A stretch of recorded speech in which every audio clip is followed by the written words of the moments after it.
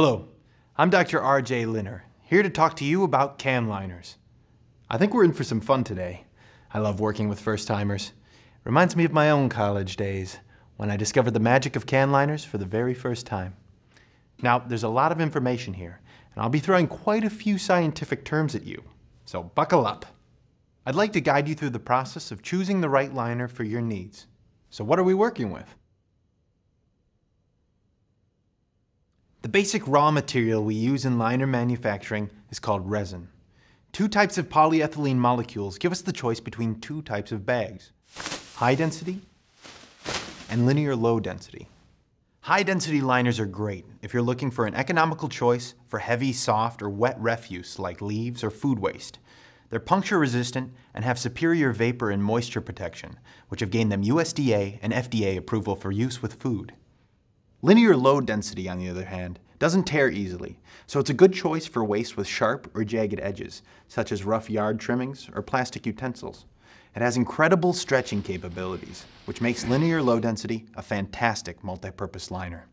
There are also reprocessed polyethylene liners that are made from recycled post-consumer plastics like milk jugs and other material scraps.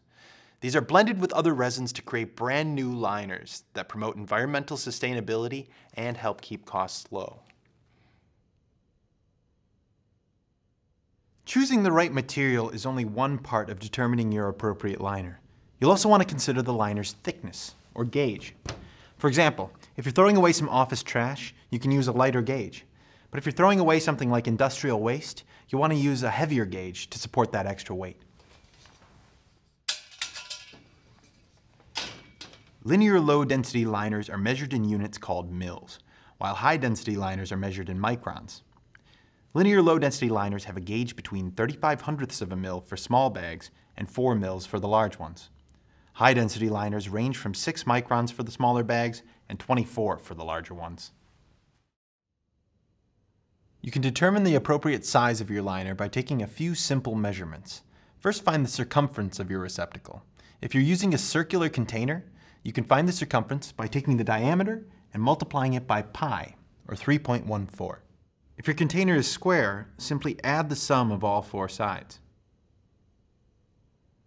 Then determine the length of your liner by taking the height of the can and adding 5 inches. Pretty easy, right?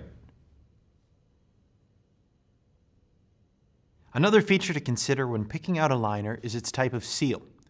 The seal is what holds the bottom of the liner together. The most basic type of seal is a flat seal, which is a straight seal along the liner's bottom edge. These are somewhat leak-proof, but they conform poorly to the shape of a container.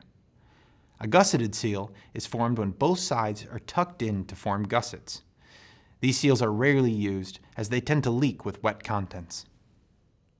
The most common type of seal is the star seal. They're created by folding the bottom of the liner over several times and then sealing it. Beautiful.